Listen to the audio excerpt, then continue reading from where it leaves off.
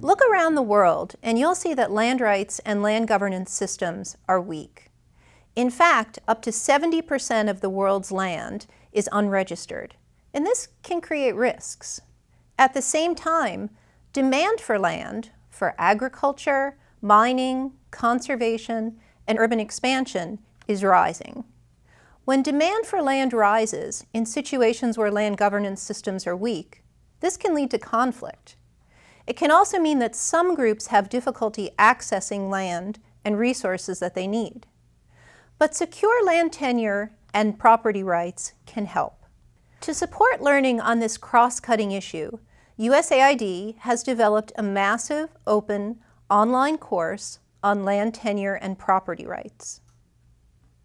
This multi-module course is designed to help you understand this complex issue.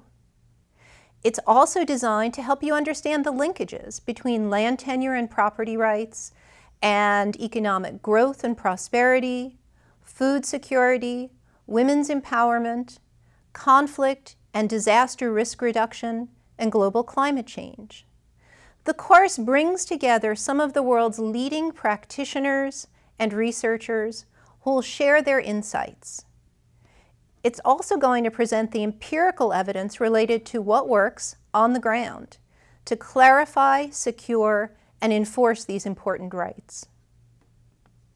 This course is open to anyone, but it may be especially useful if you're interested in these issues, or if you work for an international development agency, or as an implementing partner, if you work for an NGO, or if you're a student or a researcher looking to extend your knowledge. So why not join us and be part of the world's leading online learning experience devoted to land tenure and property rights? For more information, visit www.land-links.org backslash MOOC. See you there.